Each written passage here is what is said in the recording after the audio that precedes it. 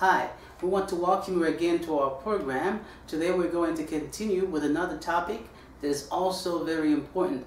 Yesterday we saw how to preserve our foods. Many people want to go to the country. One of the concerns that they have is how to preserve their foods. Well, uh, we learned a lot yesterday about this.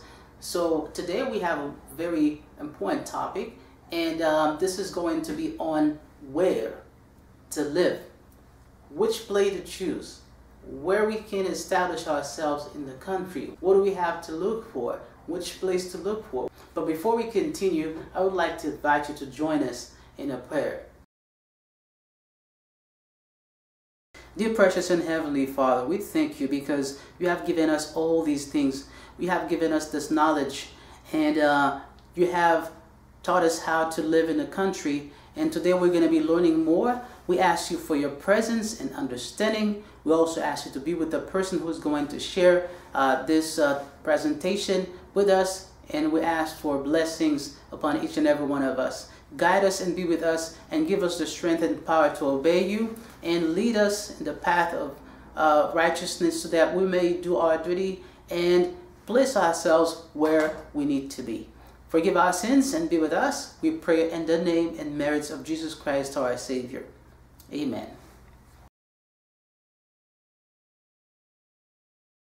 Before we proceed to our presentation for today, let us now uh, watch a special item.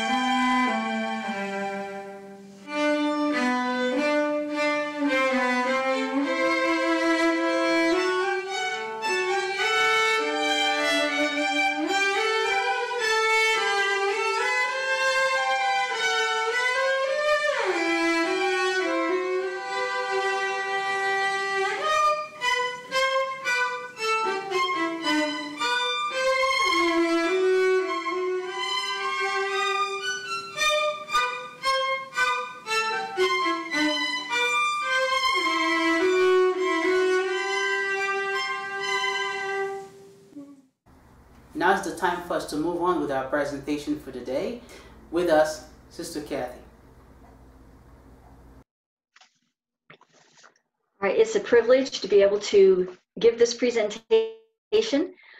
My husband and I have been living out in the country together for 45 years, and we have, before that, both been interested in gardening and uh, country living before we ever even heard of an Adventist.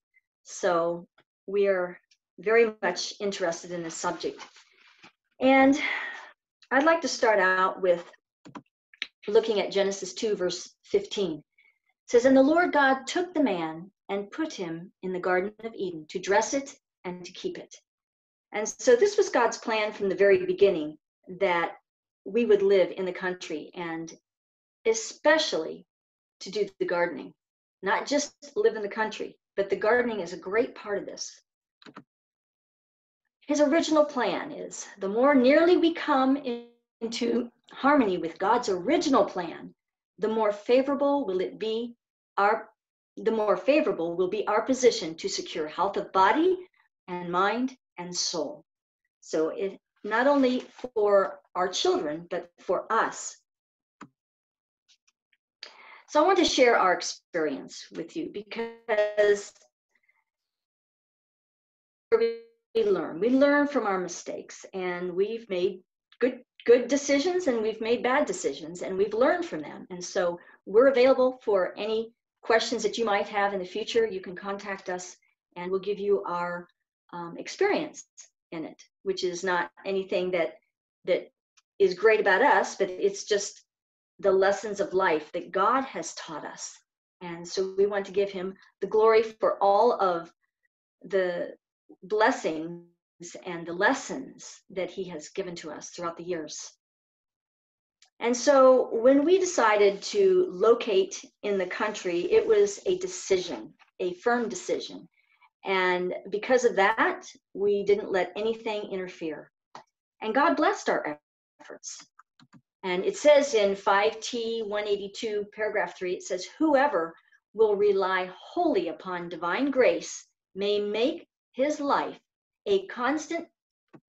I'm sorry, I've got to move this a little bit out of my way. Seems to be in my way. Um, can't read the whole thing. Start that paragraph over. It says, Whoever will be, whoever wholly rely upon divine grace may make his life a constant testimony for the truth. No one is so situated that he cannot be a true and faithful Christian. However great the obstacles, all who are determined to obey God will find the way opening as they go forward. And that's in 5T 182. And so we were also determined that we weren't going to be in debt and to stay within our budget. And there's several things you need to consider about being determined to stay out of debt. And one thing is you don't have to count your mortgage as a debt because if you're being wise, you can actually save money by buying a house versus renting. That was our experience.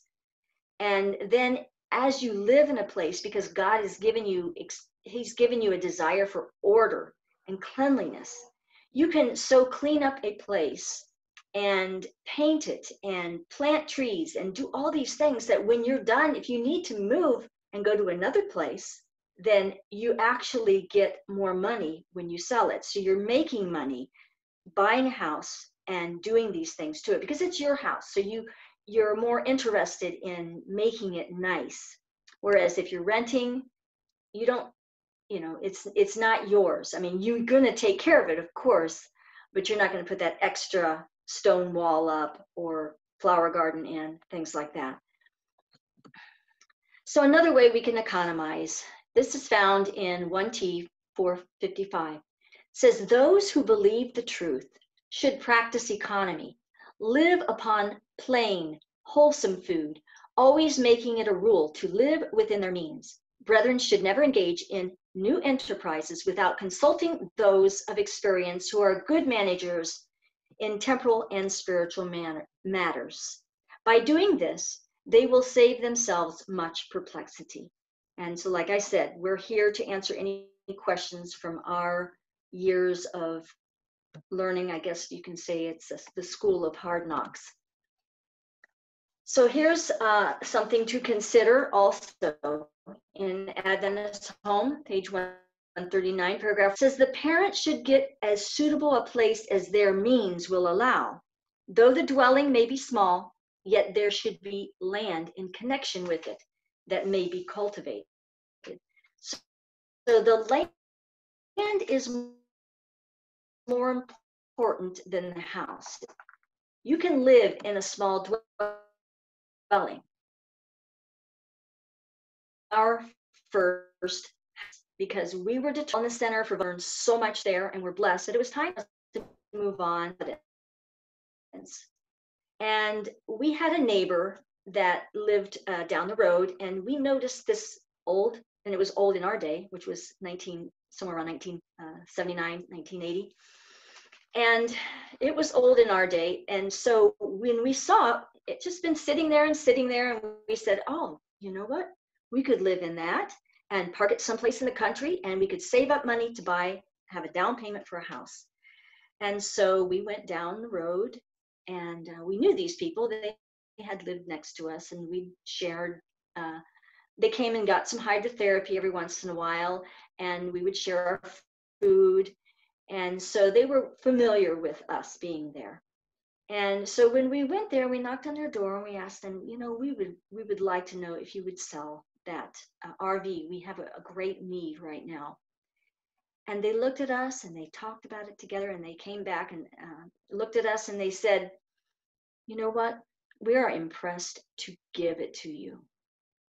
And I was just in tears because, you know, when you're working voluntarily and you don't have any money and you've put your all in it, it was just a sigh of relief that we knew God was leading us. And so we took that and we uh, found a place in the country.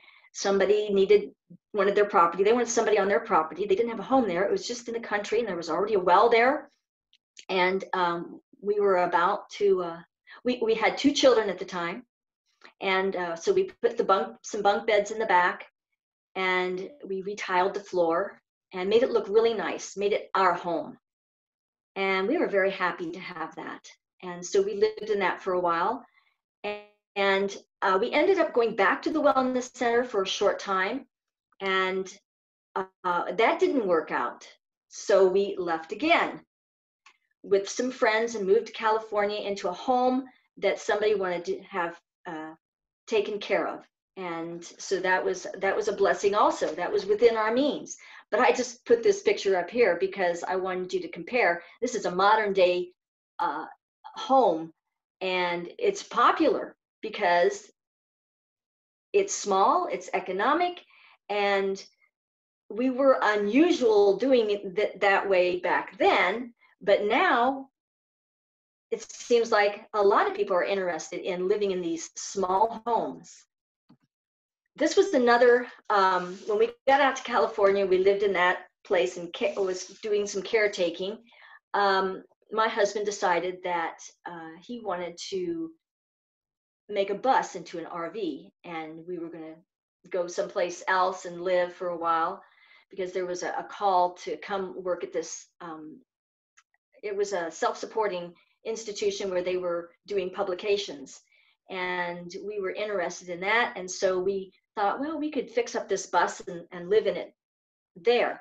And my husband was also he just heard about um, using diesel fumes. I think it was diesel might have been gas fumes to run an engine so you weren't just running it on gas, you were running it on the fumes. So it was so economic. And so he had a lot of fun turning the bus. It was very similar to this one into our home. And we made it very cozy, put a little wood stove in there, just like this one has a little wood stove I see sticking out the top. And we lived in that for a few years. And then God had us work at another place. Somebody wanted a wellness center started down in Southern California. And so we sold that and moved down there. And this all happened very shortly. So I'm just telling you, if you if you want to live in the country and you want to be out of debt, this is a route that many people are taking because it's affordable. Um, so we also lived in another trailer one more time. We decided we're not going to try to do self supporting work and work for other missionary institutions. We're, we need a home. We need, because our children were starting to grow up and we need to do homeschooling. And so we got another travel trailer and we went to Florida because we decided we're going to both work and save up our money. My husband worked in the day shift. I worked in the evening at a Mennonite restaurant and we had during that it was like an hour during the day that we let uh, mennonite family watch our children very nice family and um, so we end up saving $4000 in six months doing this living in a travel trailer in a country setting it was a trailer park, but country setting. We felt like we were still in the country.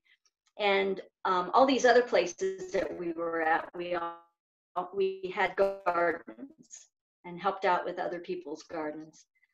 Um, so we money going back to Arkansas. It was cheap, taxes were cheap, restrictions were not there. So we we went back to Arkansas. We found this wonderful little place, and the Lord provided us with uh, our first home.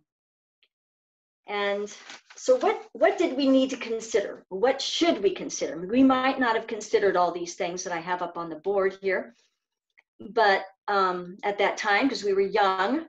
But now that we've lived all this time, we've bought several places and sold them and made money off of selling some of the land and and profited from this country living.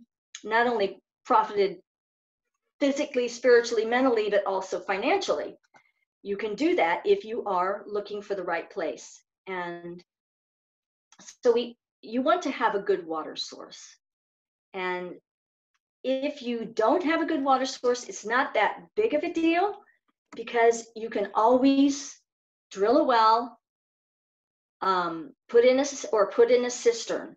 And a lot of people are doing this cisterns now, which are collecting rainwaters and putting in this big tank and then using that. And that's nice, especially for us in these last days when we think there might not be a time when we can buy and sell. We can also hook up a hand pump and just pump our water by hand right out of the cistern. If the well is not too awful deep, you can do that with the well also. Um, if you have a pond, you're still good, even though you might be hooked up to county or city water. If you have a pond, you can use that. You can filter it to drink. You can use it for for bathing, for for cleaning. Um, if you boil it first for washing dishes, and also a creek. We always tried to look for a piece of property that had a creek on it that was year round. So it may have a creek. A lot of places say, oh, it has a creek, but you want to know that it's a live creek. If it says live creek, that means it's year round. It never goes dry. And you can also tell if you have a live creek or if you have some water right under the ground, if you have one of these on the property. And this, you can usually find this down in the valley of a piece of property near a creek. And if you see a sycamore tree, and you can find them pretty easy because the bark is white at the top, not necessarily all the way up, but the bark will be white at the top. And you'll usually see quite a few of them right along this uh, riverbed or this valley. And you know that if you dig down 10 or 20 feet, you're going to have water. So this is a nice thing to look for on a piece of property. So other things to consider is um, you don't want to buy property with restrictions. That's usually a gated place because there's going to be rules and laws and you have to have a certain type of roof and your house has to be a certain um, square footage and um, you may have to be paying yearly fees for that gate um, upkeep and for the road upkeep and things like that. So you want to try to find something that doesn't have any restrictions. You want to consider the taxes. We made a big mistake when we built a house in Texas. We had a, little house that was out of debt, but we always had this vision. We wanted to start another wellness center. One day we want to start another wellness center. And this was about 20 years ago. And we were living in Texas and was trying to start a work up there, a church. And um, we decided my husband wanted to build a house. He's always liked, you know, the idea that he had built a house. And but now it's he's built several houses and several churches. So he got that. But the first house we made the mistake. We bought the land. We wanted to be closer to the city, um, which was to Dallas. Not close, but close enough that you could drive out and still feel comfortable um, from the city to go to church because we wanted to plant a church there. So we brought, I think it was 12 acres or something, maybe 15, and we started building a house. And we wanted the house big because we like to have people come and stay with us and help them with their health, help them change their lifestyle. And so when we got done with the house, we were, it was a beautiful house. And it had cost a little bit more than what we had expected, but we figure I was working and um, making products that I could resell at wholesales. Um, it was a craft item and it was going very good. And so we thought we would be able to pay this off really soon. But what we didn't consider was the taxes. And when they came out and they estimated what our monthly taxes was going to be, it was more than we would ever want to even pay for rent, let alone pay a mortgage payment. It was $500 a month. I know that may not sound a lot to you, but we weren't making, you know, that much money. So we decided, and then I started getting sick, so I wasn't able to work. I started getting um, Lyme disease, and I got so sick. And during that time, we came, I came to near my deathbed, and what happened is I decided that I was going to commit my life again to the Lord, totally doing medical missionary work. And when I came out of that sickness, I was determined that I wanted to do some type of medical missionary work full time again. And so we just put our house on the market and we were going to go to Arkansas where things were less expensive, taxes were cheap, restrictions weren't there, and we were going to try to start up a work. So we put our house on the market and it wouldn't sell and it wouldn't sell and it wouldn't sell. My health was getting better and better. And then we were asked if we could come and start my Creek Wellness Center if we wanted to do that. So we made the decision to do that. And once we made that decision, our house sold immediately. So that was an answer to prayer.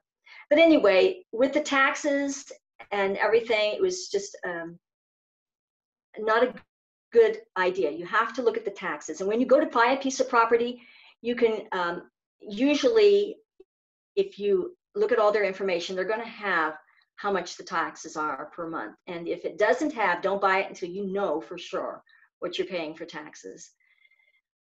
Um, you want to consider the climate and not that it's the thing, the most important thing, but if you're really interested in um, uh, having peace about it, especially we we had li- we lived one time in northern california and we were there we got there in the fall and in six months it didn't stop raining but maybe a few days out of that six months and by the end of the six months i was ready to move someplace else so you've got to consider that if you know the area um, you know if you don't know the area ask questions look it up. You can, we've got a wonderful source of searching out the climate of all areas nowadays. You want to look at the area if you're interested in having a nice garden and building a lot and putting in a lot of fruit trees. Is the area cleared or is it wooded? Because if it's not cleared or wooded, you're going to have to do this, and that is expensive. Uh, you can't just cut the trees down and expect things to grow because you've got to get those roots out of there because the roots are going to zap the energy, um, the nutrients from the soil. And so, and sometimes if the roots aren't up, the trees will just keep springing up, depending on what type of tree it is. And so the soil can make a difference. Uh, you can always put in uh, grow beds, boxes where you're buying soil and putting it in if it doesn't have good soil. But if it has good soil already, that's a plus. If it's cleared already, that's a plus. So you could take this into consideration when you're uh, looking at the price of the land. So you want to um, establish gardens and fruit trees. And 6T 179, it says, working the soil is one of the best kinds of employment, calling the muscles into action and resting the mind. Study in agricultural lines should be the A, B, and C of education given in our schools. This is the very first work that should be entered upon. So country living is mostly about agriculture, not about just looking at the beautiful trees and shrubs. It's about getting those muscles worked. It's about learning um, common sense through through uh, physical labor and experience. Here's another quote in Adventist Home 146. It says, So long as God gives me power to speak to our people, I shall continue to call upon parents to leave the cities and get homes in the country where they can cultivate the soil and learn from the book of nature the lessons of purity and simplicity. So, what this country life is, is a call to nature, to do gardening. And if you cannot get out right now, you can start a garden, even if it's a, a community garden. And of course, um, the benefits of that you reap in the fruit that you get and the blessings that you can be to humanity is tremendous. Another thing to consider is the septic system. And uh, usually a septic system costs about $5,000 to put in the tank and the leach lines that already has a, a septic system on the property. You can deduct the $5,000 from what you might of another piece of property. If you have to clear it and it's already cleared, you can deduct another 5,000. So it all adds up when you buy a piece of property. If these things are already done, if why they're so much more expensive, this is the reason. They have a septic system, they have clearing, they may have a well, they may have a it may have a spring because a well will cost you anywhere from five, uh, five to ten thousand dollars to put in. And um, of course, this septic system, I know you probably haven't seen one like this. This is what we had to have when we were in Texas because of the type of soil. It would not um, leach. It was so full of clay. Very hard to have a garden there also. So you had to spray it all around and to get rid of the water. And so you can do a composting toilet, toilet and of course some states they're illegal. You can have outhouses in some states still, but most states they're illegal. I know they're illegal here in Tennessee because we have the Amish living in our area, and most of them have one of those um, portable outhouses that are um, that you can order for construction and things. Okay, another thing to consider is can you do missionary work? Is it a dark county? And we're told that we should settle in dark counties to let the light shine. And if you're going to the country to work, do you have another family that's also interested that's going with you? This is important for your children, for the people that you're working with to see that you're not just a singular singular person, that you have other people that can fill in the gaps where you may lack. And so, can you do missionary work? It says, God, this is found in Adventist Home 489. Says, God calls for Christian families to go into communities that are in darkness and error and work wisely and perseveringly for the Master. To answer this call requires self sacrifice. While many are waiting to have every obstacle removed, souls are dying without hope and without God in the world. Many, very many, for the sake of worldly advantage, for the sake of acquiring scientific knowledge, will venture into pestilential regions and endure hardship and privation. Where are those who are willing to do this for the sake of telling others of the Savior? Where are the men and women who will move into regions that are in need of the gospel, that they may point those in darkness to the Redeemer? In families, I'm sorry, if families would locate in the dark places of the earth, places, sorry, I have to move this little uh, thing again. Okay, places where people are enshrouded in spiritual gloom and let the light of Christ's light shine out through them. A great work might be accomplished. Let them begin their work in a quiet, unobtrusive way, not drawing on the funds of the conference until the interest becomes so extensive that they cannot manage it without ministerial help. So, the call to the country and to other locations is a time when God can intervene to set you in the place where he has you has for you. In um, ministry of healing 193 it says christian farmers can do real missionary work in the helping the poor to find homes the, on the land and in teaching them how to till the soil and make it productive. Teach them how to use the implements of agriculture how to cultivate various crops and how to plant and care for orchards Okay, so also we need to consider, will we be able to resell, resell this place? Um, not that that has to be something, but if you are starting out and you have a mortgage, it is a good idea to buy and sell, buy and sell, buy and sell, fix up, maybe sell land off the part that you bought until you have enough money to buy out of debt. This is my, this has been our experience. Possibly you have the money to buy it, pay cash. That's great. Most people don't. So if you find a place that needs to be fixed up, you set yourself to work. God will bless because he will give you the ability, just like they were that built the temple. They were men that were filled with the Spirit to do this embroidery work, to do this rock work. If you set out to do this for God, He will give you the talent. So you want to consider that you can resell it. If you're buying a place and it's in a area where there's a lot of homes that are trailers and rundown places and it's it may be a nice place, you would not be able to resell that and make a lot of money as if you bought something that was a, a nice sturdy house in a nice area, but if fixed it up, you would be able to resell it and make some money. That would be a good place to buy. You want to consider um, that you can also find job. Sometimes you're so far out in the country that it costs you so much money to travel back and forth, and then you lose an hour or two a day in your traveling. Um, you want it to be a safe place. You want to consider your neighbors. You may have a chicken farm next door that is putting off so much stench that you won't be able to resell it. And a good thing to do is to go to the neighbor of the house you're considering and ask them, is there anything in this area that I need to know about that would help me to make my decision whether I should buy this? You know, how's the water?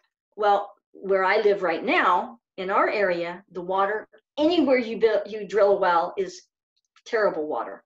You have to spend an extra five thousand dollars to put in a, casing inside the well because everything from the ground leaches into the well and turns it brown. And so we just did that because we've been fighting and fighting and fighting it at White Creek Wellness Center with our wells turning dark. And our water coming out of the, you know, doing a hydrotherapy and all of a sudden the water comes out dark, washing white clothes, it comes out dark and it's an iron that stains terrible. So anywhere you drill, you have this water.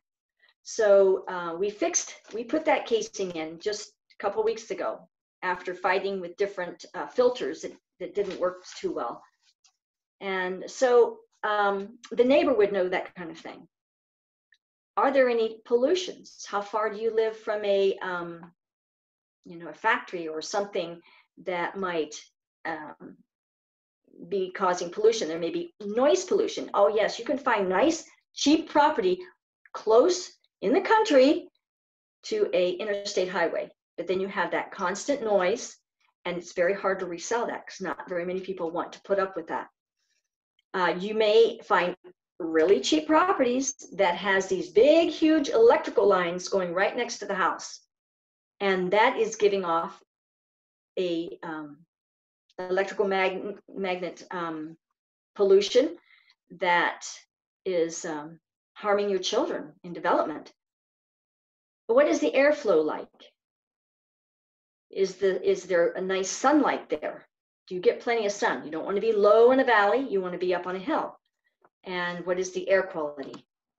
And here in um, this quote says, a yard beautified with scattering trees and some shrubbery at a proper distance from the house has a happy influence upon the family. And if well taken care of, will prove no injury to the health. But shade trees and shrubbery close and dense around a house make it unhealthful. For they present, I'm sorry, for they prevent the free circulation of air and shut out the rays of the sun. In consequence, a dampness gathers in the house, especially in the wet seasons. Those who occupy the sleeping rooms are troubled with rheumatism, neuralgia, and lung complaints. Then the great quantities of fallen leaves, if not removed immediately, decay and poison the atmosphere. Dwellings, if possible, should be built on high ground. If a house is built where the water will settle around it, remaining for a time and slowly drying away, there is a poisonous miasma continually rising from the damp ground, which breeds sore throat, fevers, ague, and lung disease. And another one in the retirement years, page 130, says so far as possible, all buildings intended for human habitation should be placed on high, well drained ground. This will ensure a dry site. This matter is uh, often too greatly regarded. Continuous ill health, serious diseases, and many deaths result from the dampness and malaria of low lying, ill drained situations. Okay, and also we need to consider the type of building material. Um, if you have a house that is rock, I mean, it's built out of rock and you see that it's old, that house can possibly have mold because of the fact that that rock, it'll get damp and then it takes a lot to dry out. And if it's got a lot of leaves over it, I mean, not leaves, but vines growing on it, because rock will do that. It'll attract the rock, the vines will crawl right up it. Um, if there's not many windows, um, if, if it's in a very humid area or, or like Northern California where it rains for six months out of the year, then um, it will not be a good area. I mean, in a dry place like um, dry part of Oklahoma, uh, which is also another good place that has uh, inexpensive land and less restrictions and less taxes, um, or if it's on a high hill and lots of wind that can dry it, dry it out good, it might work out. And you also need to consider the type of heat that you have. You some people may be allergic to. Um, I used to be allergic to propane, and God has helped me through many liver cleanses and um, different cleanses to to overcome that. And i can now be around uh, natural gas and propane where before i couldn't. Um, so you need to consider the type of heat. Um, usually if you have a wood stove then you have higher insurance. If you're in if you have a mortgage you're going to have to have insurance on your house. And that will up your insurance um, but of course you can save a lot of money with a uh, wood stove if you have wood and you don't have to buy it. So uh, during the time of trouble when we can't buy and sell, that would be a good thing to have. But if you're you have, if you have a mortgage on the house, you can pretty much not have to worry about having a wood stove because it's not going to work. You need to be out of debt. You need to work yourself and prepare yourself to buy a place in the future that you are out of debt. Um, here's a house that has mold on it. It's uh, like it's a it's a brick house, so it's rock, and so it has a problem, and we don't want that. Here's another problem with a house that um, has a lot of vines growing around it. They do look nice, um, somewhat, but you want those windows to get that free flowing air, and you want the house to dry out, and you want the sunlight to come in. So this is not a good idea either. It looks like this elderly man has pretty much lost his energy in taking care of his place. So it's to be expected. This is a home that is up on a hill. I like this, if you could be out of debt, because this is a home where you could turn it into a wellness center. And that's another thing to consider is if you have the funds, if you have the desire to buy a place that you could take in people and educate them. Uh, we're told that uh, missionary work of this type is the highest. This is what Enoch did. Is he brought people from the city to his home and he educated them. And to to hand a pamphlet or a book to somebody is fine, but to get them into your home and teach them every reform that there is and show them how it's possible and how you love it and how you can do it with ease they it's exciting because then they get the they get the whole picture. And sometimes you can find these places um, that have been foreclosed and you can get them very inexpensive. You may have some work to do on them. Most, most likely you will have some work to do on them, but they can be turned into a place. And there should be a little place like this in every county where people can go and they can learn. And it can support you. It doesn't have to be supported by the church.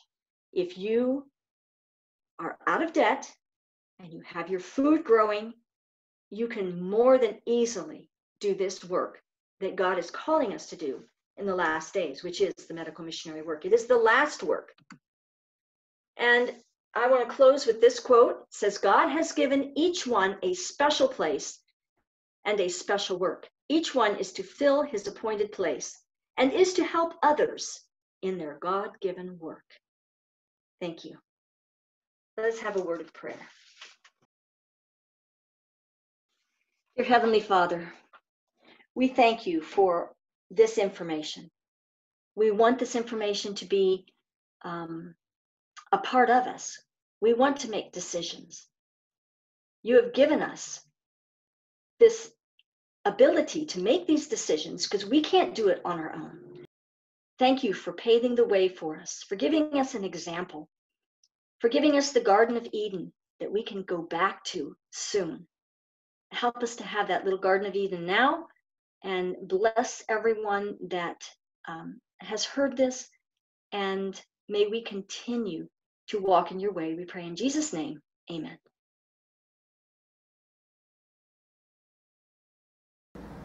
We have come to the end of our program for today. We thank you all for being with us.